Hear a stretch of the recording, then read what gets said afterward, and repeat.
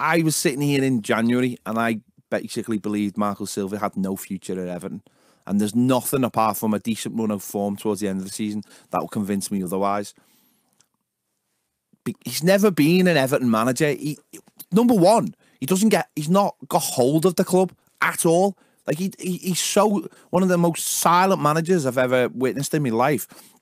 But he's never pushed the fans. He's never spoke to the fans. He's never been willing to.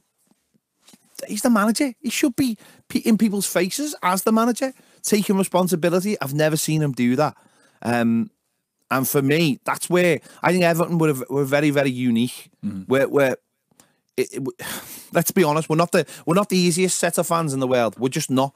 We've got we've got expectations for ourselves. And when I say expectations, that's not expectations that we're gonna win all kinds of trophies or we should be pushing for the top four. It's just expectations of what we expect to see. Passion, desire, commitment, hard work if they get fulfilled, a lot of the time we're, we're, we're, pleased, we're happy, we go along with it. You know, the old dogs of war kind of thing of, well, as long as we're you're showing what you're showing that it matters to you on the pitch, that's enough for us. And we're not seeing that from the manager or the team, and we haven't been for a long while.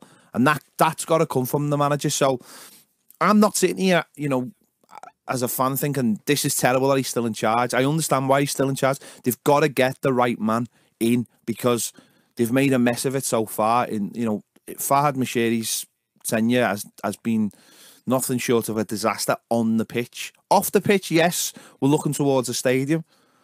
But I tell you what, if you don't get it right, that stadium isn't ever going to happen.